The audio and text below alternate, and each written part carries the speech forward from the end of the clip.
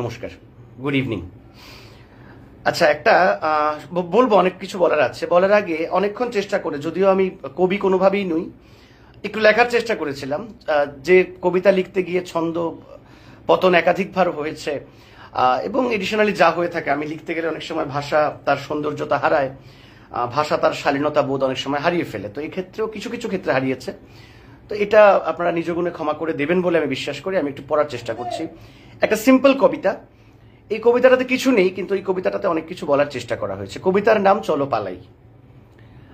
কবিতার নাম হচ্ছে চলো পালাই। তো আমি একটু পড়ার চেষ্টা করছি, কেমন?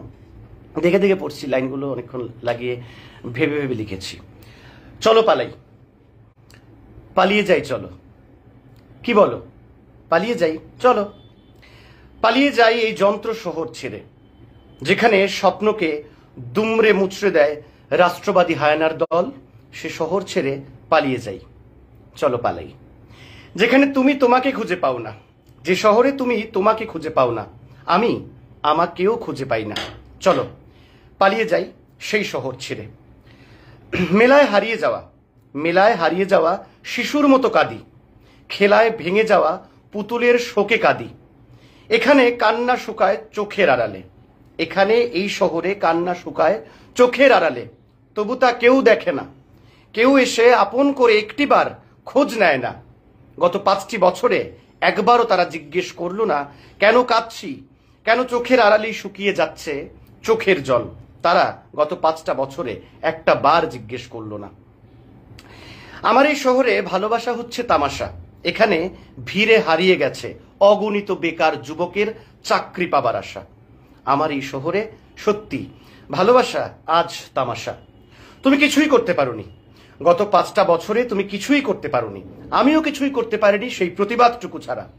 এখন যা করার করেছে মানুষ, তাই তুমি বলছো, চলো চলো পালাই, পালিয়ে যাই এই শহর ছেড়ে, যেই শহরে বাস করে কিছু রাষ্ট্রবাদী, উগ্র হিন্দুত্ববাদের স্লোগানধারী রাষ্ট্রবাদী হায়নারা। চলো, পালিয়ে যাই। অ্যাকচুয়ালি লাইনগুলো লেখার উদ্দেশ্য একটাই যে আমাদের শহর থেকে, আমাদের রাজ্য থেকে ইদানিং পালানোর ঝোঁক বেড়েছে। কারা পালাচ্ছেন, কেন পালাচ্ছেন, আমরা সেই শব্দ বা নাম উচ্চারণ করব না। এনারা কোন রাজনৈতিক দল করেন সেটাও উচ্চারণ করব না। আমার কোনো রাজনৈতিক দলকে নিয়ে এখানে বলতে আসা নয়, আগেই বলেছি। কিন্তু পালাচ্ছে কারা? কেন পালাচ্ছেন? যারা পালাচ্ছেন, তারা কেন পালাচ্ছেন? কিসের এত ভয়? কিসের এত ভয়? পাঁচ বছরের সুশাসন পেয়েছে ত্রিপুরা।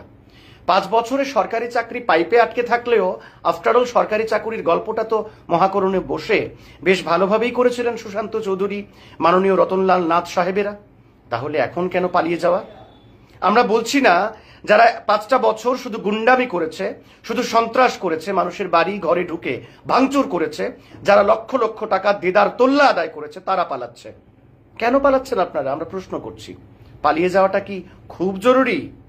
চরাম চরাম ঢাক বাজবে। আওয়াজ কি আগেই শোনা যাচ্ছে চরাম চরাম ঢাক বাজার? নতুবা কেন পালাচ্ছেন আপনারা?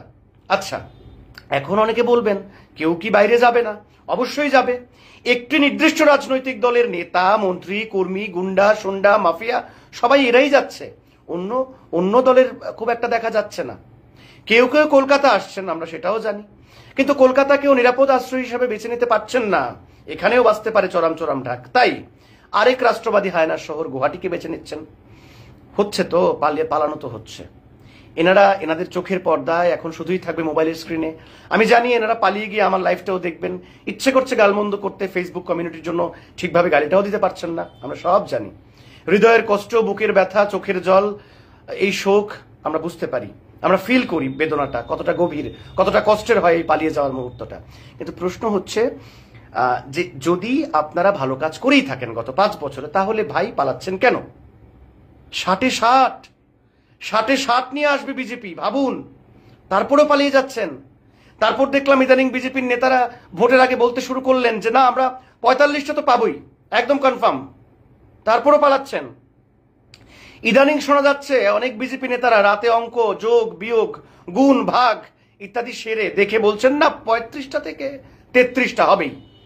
গলা শুকিয়ে যাচ্ছে, একত্রিশটাও বেরোচ্ছে অনেক সময়। আবার অনেক নেতা, নেত্রীরা টেনে টুনে বাইশের উপর যেতে পারছেন না। আবার অনেকে বলছেন, আঠারোটা পেলেও বিজেপি সরকার করবে, যার নাম বিজেপি। এইভাবে তো চলছে। আর এই কনফিউশনে কি হয়েছে? এই কনফিউশনে অনেকে পালাচ্ছেন। শহর ছেড়ে, রাজ্য ছেড়ে পালাচ্ছেন। এতদিন যারা অত্যাচার করেছিলেন, পিস্তল উঁচিয়ে মহিলাকে সাত রামনগরে মরে আছে তো? পুরুষোত্তম রায় বর্মন প্রার্থী, নির্দল প্রার্থী, উনার এক সহ, সহ- সহযোগী এক উকিল, আইনজীবী, বোন। পিস্তল উঁচিয়ে হুমকি, ওরে বাবা, মেরে ফেলা হবে। যে পিস্তলটা উঁচিয়েছিলেন, মোটা সান্ড জলহস্তির মতো দেখতে, সুরজিৎ দত্তর ভাতিজা মহোদয়, কিছুক্ষণ আগে ছবি দিয়েছি সান্ড পালিয়েছে। ভাবুন।